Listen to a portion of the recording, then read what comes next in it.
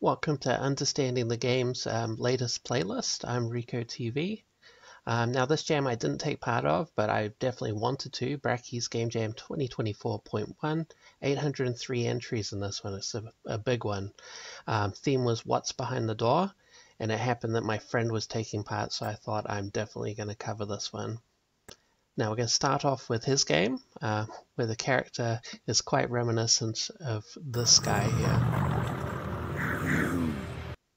Now you're someone trapped in purgatory, and if you wish to leave the realm, you must cleanse your soul at the three fountains. It's a um, off you go. Now the theme obviously behind the door, so this is it in action here. Now it doesn't have much sound effects and music, but it does have beautiful animation and I even noticed these nice 3D shadows on the 2D sprite.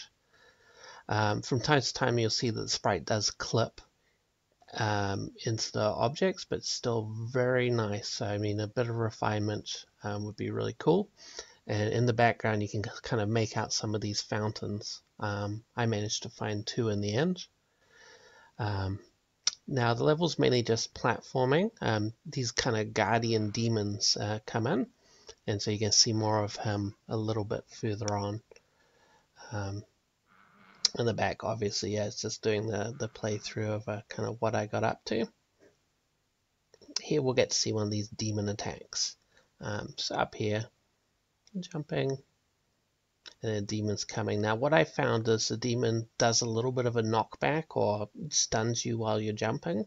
And so um, I let it bite me because there's no way of defeating them. Obviously, it'd be nice to have that um, kind of um, way of escaping them. All you really can do is outrun them or let them bite you, and then they come back um, to get you. Um, and as I said, like my earlier plays, like they caught me midair and uh, so forth, which was a, a, bit frustrating, uh, but very nicely animated.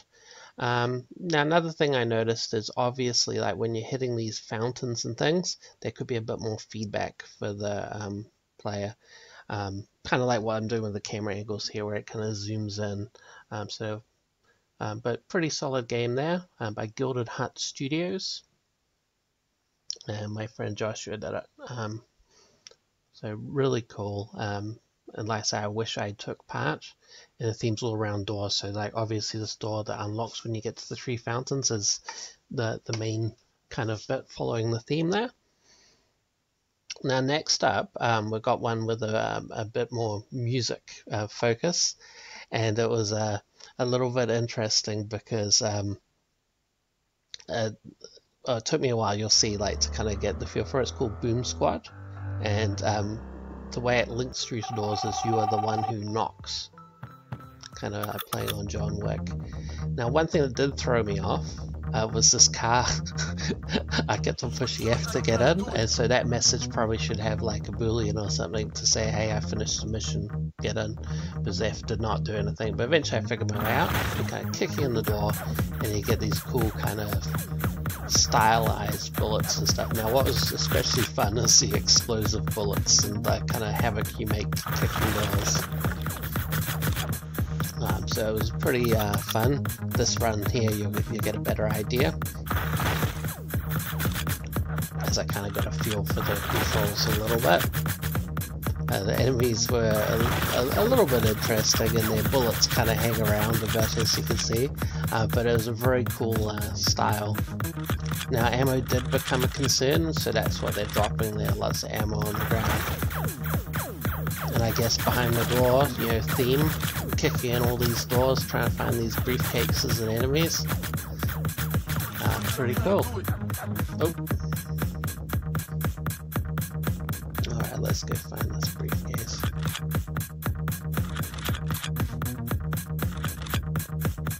I didn't kick the table but I kick it forward, but I did use it as a kind of shelter. But I noted that only some of the enemies really are mobile, a lot of them are kind of stationary, kind of gun turret kind of uh, deals. Now that's actually the suitcase for the mission, but I decided to continue on having a bit of a nose. Um, and then I realized I needed the briefcase to escape. Cool music, um, nice effect, very um, good, you know, enjoyable with the gun and the effects and um, the kind of overkill made it a, a lot of fun. Um, so I thought this was a pretty cool one. And definitely in music um, makes a big difference. So these ones with good music and sound, you can see how much they, they add. Now obviously I got in the car there and I'm away. Awesome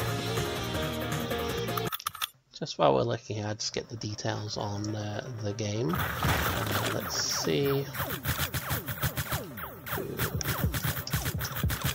Boom Squad by Diego Renillo. Uh, just see what other um, games that how experienced studio is. Uh, oh yeah, quite a decent offering. Uh, let's see, that means uh, eight games up. This looks like um, probably quite a step up from the other game, so great job there, mate. Great job.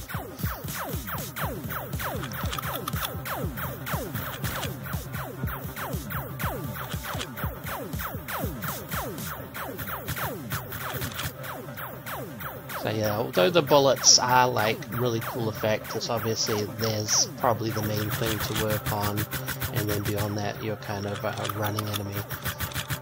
Um, but lots of fun for a nice, simpler kind of design.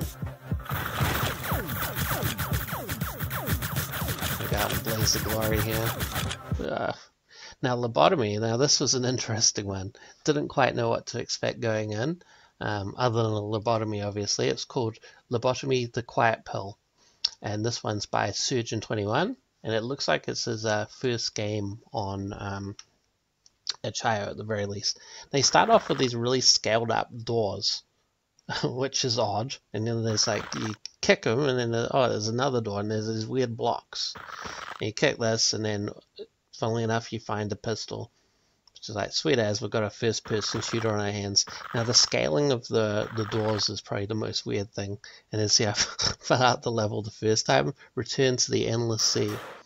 So, I what I had to do to kind of get my head around it is I dug out my lobotomy kit and then um, had to go to obviously my wife wasn't very impressed but going back and kind of went into it with a whole new kind of um, outlook and it's actually really fun kicking in these doors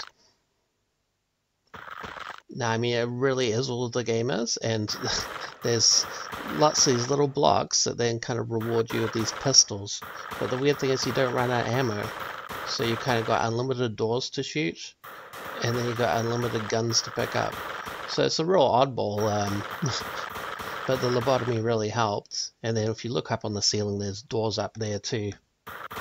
Uh, so what's behind the door? I guess either a fall to your death or a, a little block with a pistol on it. Um, probably to make it better, obviously the scaling probably needs a little bit of adjustment. It's certainly very confusing, especially when you start off in a square of them.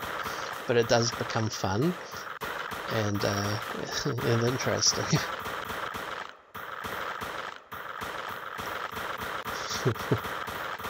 I don't know what else to say. Enjoy.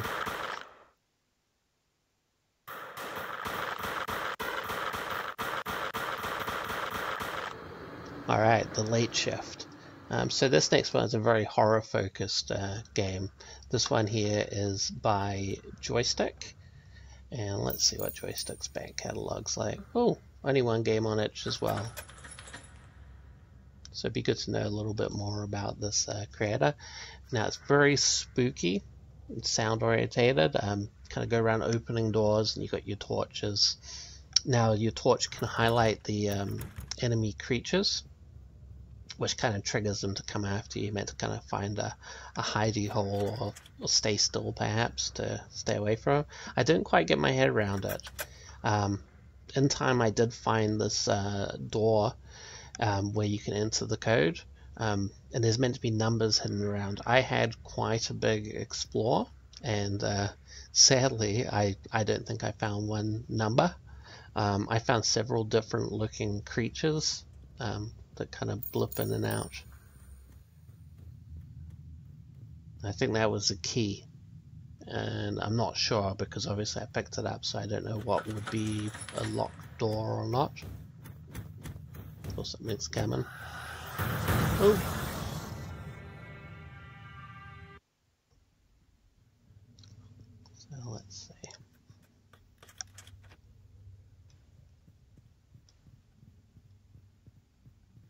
So I think up here I find the door in the middle. I think there's a creature in one of these rooms too that we can just see with the torch. Yeah, there we go.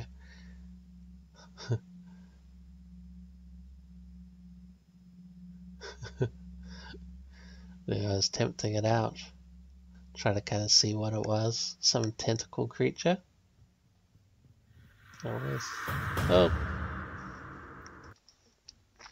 Now fast play um, through to uh, the code door so you can get an idea of that and I'll just fast play out with some gameplay. Now it does have a really good ambience, it's got a nice pixel art, um, it just probably needs a little bit more um, support and direction around uh, how it's meant to be navigated especially around finding these numbers because I was trying hard. I was like, oh, do I have to count these bits of paper or the splats on the floor? I had no idea. Anyway, let's see. I think, oh yeah, this is the door with the code, so we'll have a go at this and then we'll do this fast play. So it needs a uh, code from the numbers that you pick up.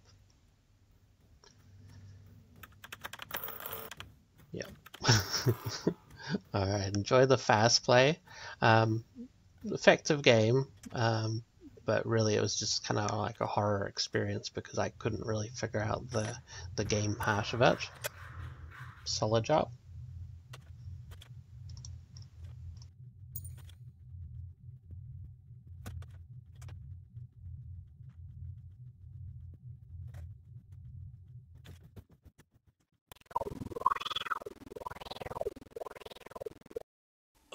Understanding the game.